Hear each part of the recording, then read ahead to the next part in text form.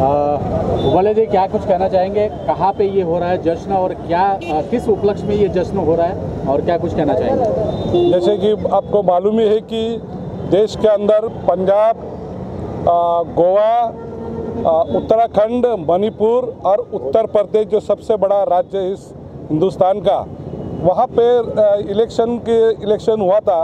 उत्तर प्रदेश में भी सात चरणों में इलेक्शन हुआ और जैसे कि हमारी सत्ता थी, उत्तराखंड में सत्ता थी, उत्तर प्रदेश में सत्ता थी, मणिपुर में सत्ता थी, गोवा में सत्ता थी।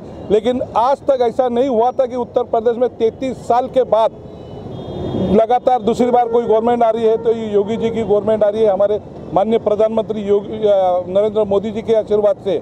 उसी के बाद उत्तराखंड देवभूमि, हम जिसे कहते हैं, उस उत्तराखंड उत्तराखंड के अंदर भी हमने वहाँ पर पहले से ज़्यादा बहुमत प्राप्त किया है।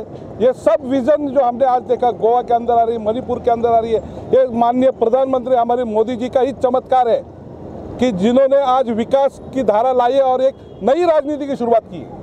कि विकास पर भी वोट गिरता है, ना जाति पर, ना पाति पर। आज देखा है कि आपने आज चारों राज्यों के अंदर फुल स्विंग के अंदर बीजेपी आई हुई है और चारों राज्यों में बीजेपी की सरकार बनने जा रही है। तो हमने केवल विकास के आधार पर हमें वोट मांगा योगी जी ने और हमारे मोदी जी ने।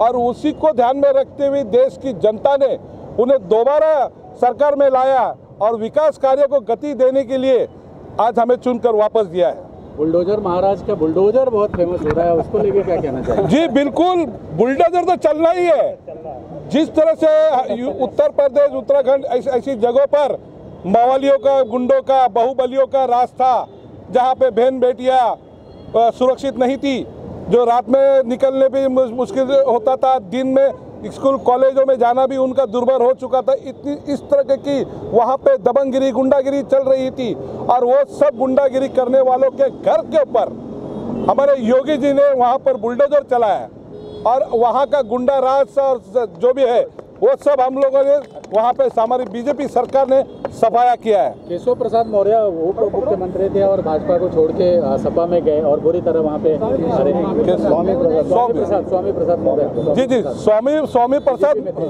स्वामी प्रसाद मौर्य जो बोलते हैं ना घर के भेदी रहते हैं तो ऐसा हमें कचरे की ज़रूरत भी नहीं थी।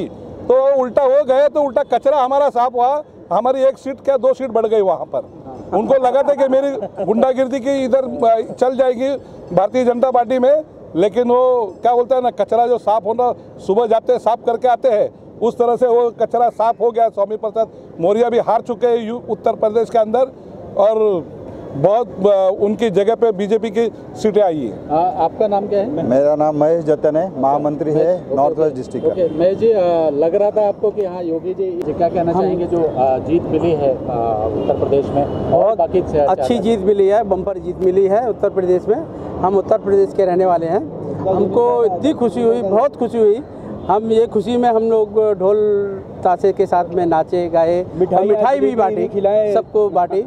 और मैं इतने ही इतने ही कहना चाहता हूँ हमारे उत्तर प्रदेश में बहुत अच्छा काम होना चाहिए और होता रहेगा। बस कुछ ही दिनों में यहाँ पे भी चुनाव है आ, क्या कहना सर, चाहिए आ- आपको क्या लग रहा है योगी जी वापस आए हैं? सर योगी जी आए हैं और आते रहेंगे और उत्तर प्रदेश में योगी जैसे लोगों के ज़रूरी भी है क्योंकि ऐसा मुख्यमंत्री अपने लोगों को बहुत ज़रूरी है क्योंकि उत्तर प्रदेश में इतना गुंडागर्दी हो गया है कि दिन में बहु बेटियों निकलना बहुत भारी है क्योंकि क्या है इतने गुंडे लोग इतना लोगों को पब्लिक को इतनी तकलीफ़ देते हैं कि लोगों को इतना मतलब बाहर निकलना तकलीफ़ होता है। आज जब से योगी जी आए हैं पाँच साल हो गया पाँच साल में बिल्कुल कोई तकलीफ़ नहीं हुआ है। लोगों को बहुत सराहना हुआ है लोगों को चाहत है ये क्या कुछ कहना चाहेंगे? अभी चुनाव यहाँ पे भी है आ, कुछ ही दिनों में शायद अनाउंस भी हो जाए। तो क्या लगता है कि यहाँ पे भी बीजेपी अपना पश्चिम जी जी बिल्कुल। मुंबई महानगर पालिका के चुनाव सर पर है लेकिन ये यहाँ पर डेट डिक्लेयर नहीं हुए मुंबई महानगर पालिका के अंदर। चाहे यहाँ पे कांग्रेस आए राष्ट्रवादी या शिवसेना कोई भी अगर मिल के भी